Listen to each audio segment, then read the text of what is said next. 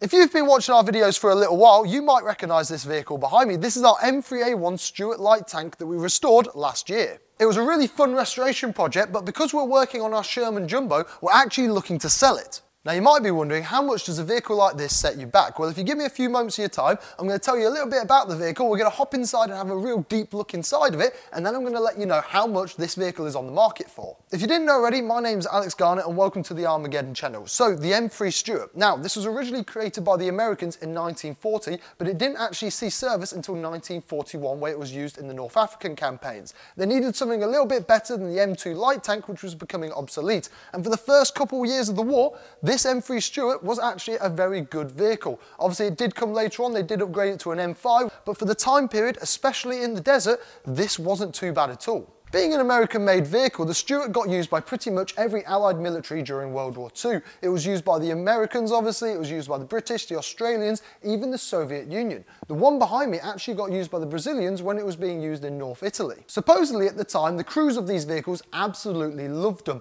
They found them very reliable. This had a seven-cylinder radial engine, which supposedly was a lot more reliable than the nine-cylinder that was in the Shermans. It with also its speed and manoeuvrability, the crews absolutely loved them. Although I'm sure it's one of the more reliable vehicles, I'm going to show you inside now because I can imagine it was definitely not one of the comfiest. Originally it would have had four men in here, so just remember that when I show you inside. So there is only a couple ways to actually get into this vehicle. Here you can see you've got the driver's seat, that's one way you'd get in. And then at the very top, you have got a couple of hatches up there. Now those hatches I can imagine were definitely the easier one, but I'm gonna try and get into the driver's area just here and show you what that would have looked like. Now you have got the co-driver who's sitting just next to him, and I presume he would have to get in through the top turret, crawl down through the turret basket and slide in. Because although I guess he could have probably have fitted through there, you definitely have to be quite a thin bloke. But I'm gonna give it a go now and uh, see if I can get in. Now thankfully it does have a couple handles, oh, it looks like the turret lock's not on. Uh, this is the fun bit. How on earth do you actually get in? Oh, you sort of have to slide yourself in and then twist around once you're inside. Oh, I'm sure there's much, much better ways to get in, but there you go. it's a bit of a tight fit, I must admit. And here we are now sat in the driver's area. As you can see, you've got everything you're going to need down there, the accelerator, the clutch, your starter, all the dials that you're going to need. And it's a very tight fit in here, but here you can see you've got your tillers to steer as well. Now you can probably see just there, that is your, uh, telling you which gears they are, but the gear selector is actually just there, which is pretty much right under your armpit.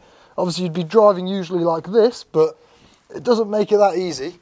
Then you've got the co-driver who would be sitting here, and that's the uh, 30 cal machine gun that you would be using. But you can just see there is absolutely no room, especially when you've got the basket just here. Now you can imagine if that basket was spinning around and this bar was somewhere here, he would have absolutely no chance of getting out.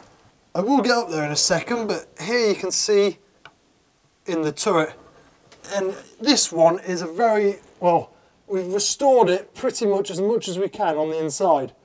So it's got pretty much everything that you can think of that it would need. And the issue with that is, it means there is absolutely no room, especially when you've got that 37 millimeter just there. I mean, that just takes up, what, about a third of this whole compartment? And now for the fun bit, trying to get out, which I can imagine is going to be a little bit easier than getting in, apart from your feet get caught on every little thing in there, especially wearing big boots does not help. But there you go. Ugh a little bit easier. Oh. Now we're going to hop up and I'll show you guys inside of the turret basket, hopefully a little bit clearer. Thankfully, it's a lot easier to climb up on top of this one. As you can see, we're now on top and here are the two hatches. So we'll open this one up, straight into there, and we'll open this one up, get a little bit more light in there. Because as you can see, it's, uh, it's quite dark. But there we are. Now I know it's probably a little bit hard to kind of visualize how small it is, especially these hatches, but that is a size 10 boot and it nearly fills up the hatch.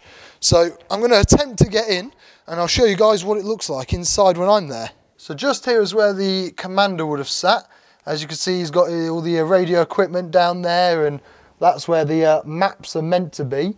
but just down here is where the co-driver would have sat. Obviously he's got his 30 cal machine gun down there, but if there's an emergency, I mean, there is absolutely no chance that he's getting out in any quick time. Obviously, you've got to wait for the commander to get out, and then you've got to hopefully follow out. And you can imagine if you've just been shot at, you're only going to have a couple seconds. I mean, look at that, just where those gauges are. He's going to struggle to try and get past there and get out the driver's position.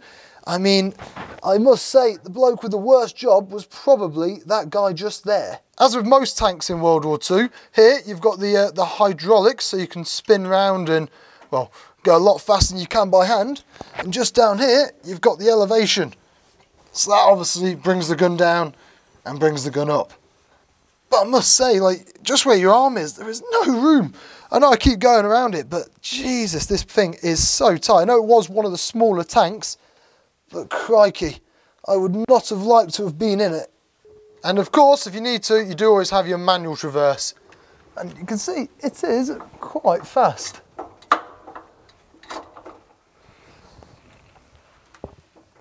Again, such an awkward position, really. If you think you're trying to have to do everything at once, got your elevation there and your manual traverse here. So I'm going to try and hop on out now. There we go. And of course, close the hatches up. That's one and two. Now this Stuart does actually have three 30 cal machine guns on it. You've got one on the very top, you've got obviously one in the turret and then one for the co-driver. However, quite often that one on the very top, they would swap out for a 50 cal machine gun.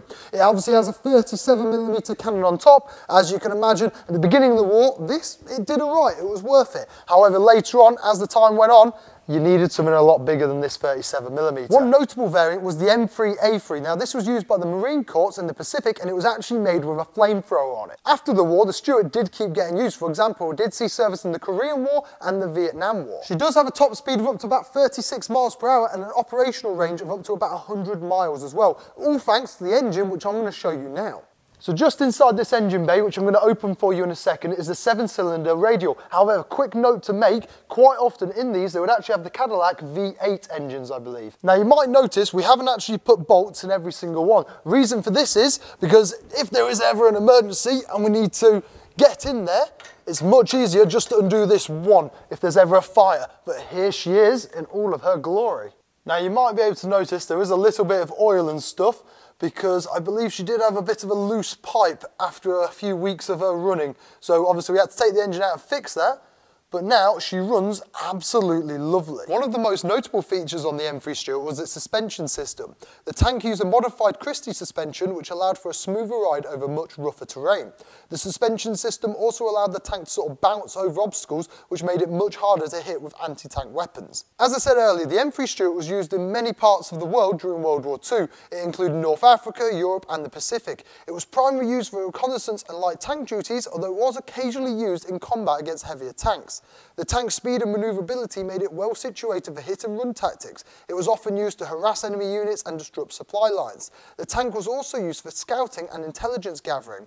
This is mainly because of its quiet engine and its small size. However, the M3 Stuart was definitely not without its flaws. Take for example the armour. Now this was designed as a light reconnaissance tank. Because of this, it had to sacrifice something to get that speed and manoeuvrability, which obviously they sacrificed the armour. Now it's not to say the armour was horrendous. For example, on the very front, I believe it was about 45 and on top it was about 38 millimeter. Don't get me wrong, nothing special, nothing crazy, but it's not the end of the world if you end up against another tank head on. However, it's the side. On the side, they would only have about 28 millimeters of armor on both sides, which is absolutely horrendous. Of course, the sides and the back are the least likely parts to be hit on the vehicle, so of course, if you are going to have to trade some armor for that speed and maneuverability, they are the obvious choice. In addition to its military service, the Stuart has played a huge role in popular culture. For example, its ended up being on a lot of video games, for example, Call of Duty, also War Thunder, World of Tanks. One interesting thing about our it was actually imported into this country by a UK buyer who also bought 13 others. So in total, 14 Stuarts